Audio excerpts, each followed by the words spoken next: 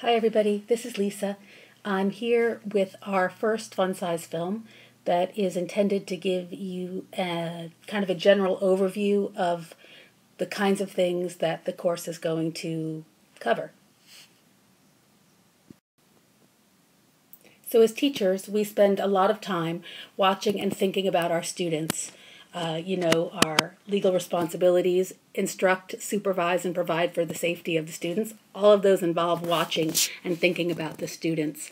We also talk all the time about our kids to our friends, anybody who will listen. Um, and so, this sort of watching and thinking and talking about our students and our experiences in our classrooms um, as teachers is a standard aspect of all teachers' experiences. But that talking and thinking and wondering and watching is not the same thing as assessment. Assessment involves watching and thinking and talking, but it is done with very different intention, very different purposes, and very different outcomes. The intention is to Im- increase our understanding of our students as learners. The purpose of that is to help our students be more effective and to help us be more successful as teachers.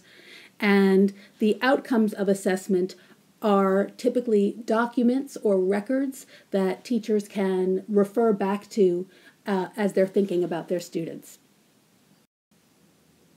So, in short, my perspective is that assessment encompasses any deliberate, intentional, focused professional activity that is done by teachers to deepen their understanding of their students' learning and to increase their effectiveness.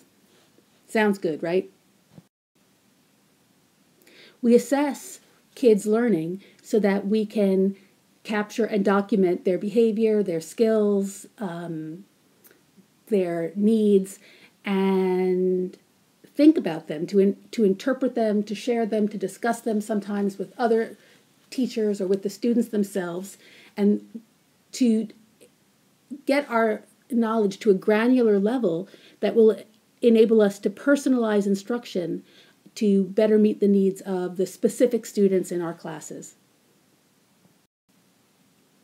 When I'm talking about data, I'm not particularly focused on standardized test data uh, or scores, things of that nature.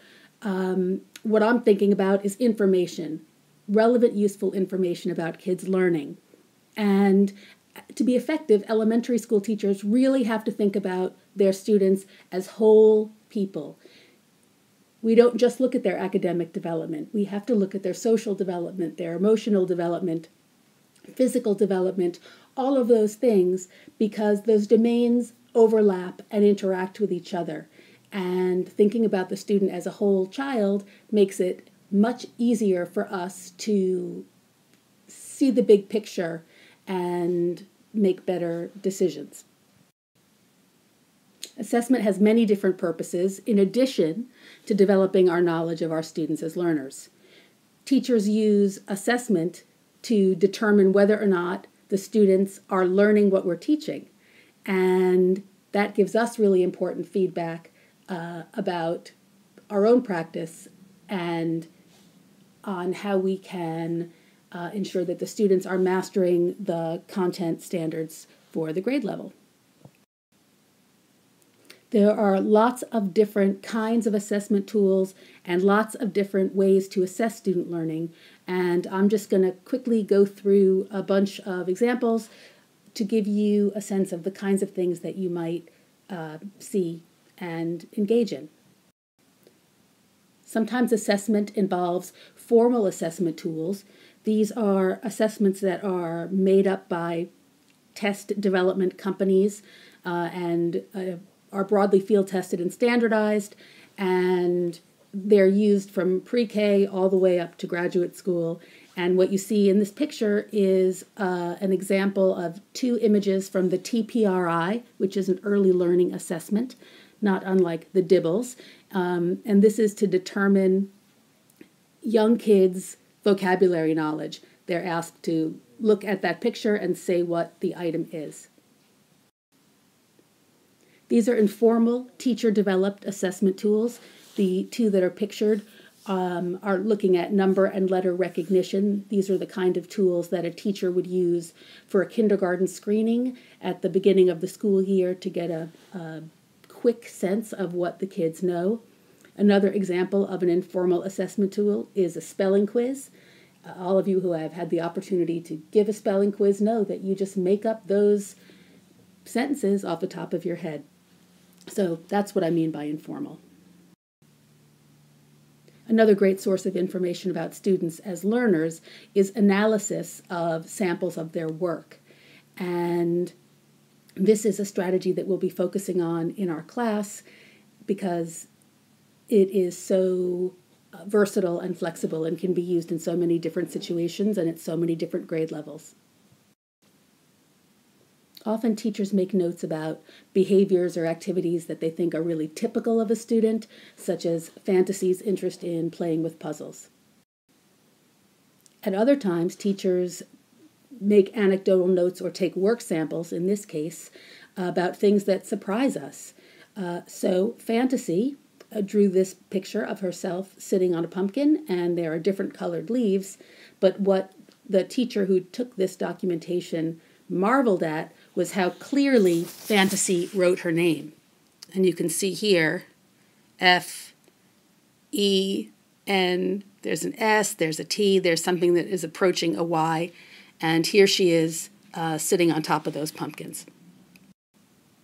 This showed progress for Fantasy. It took the teacher by surprise because she did not know that Fantasy could do a picture with this level of detail. Teachers need to master lots of different tools and strategies for assessing student learning because no single tool can do everything, and picking the right tool for the job is important.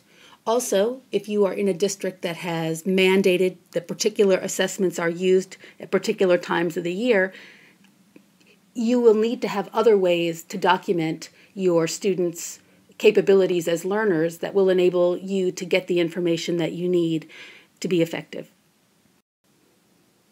So I would say assessment is time consuming, but it is well worth it because of the payoff it gives in terms of increasing your effectiveness. Assessment is best when it's positioned as an integral part of your teaching practice rather than an add on, something that you do at the last minute or separate from teaching. Uh, assessment is definitely a way to become the best teacher possible, and it'll be your new best friend for the next 10 weeks at least. And I'm looking forward to seeing you in our first class session. And you don't even know who Marcus is yet. You'll see him later. Thanks, everybody. Bye.